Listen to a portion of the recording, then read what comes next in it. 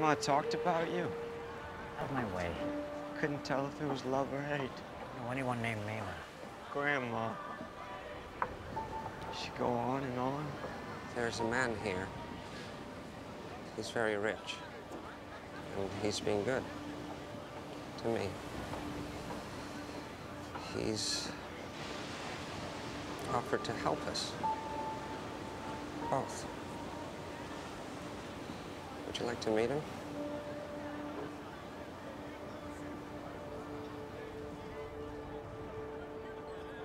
I promise I'll always look after you.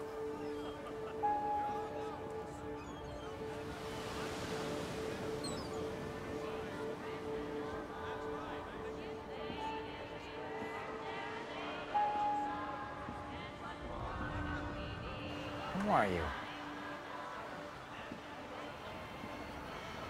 Tommy Darmody.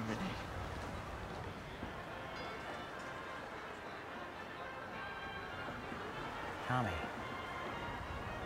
You don't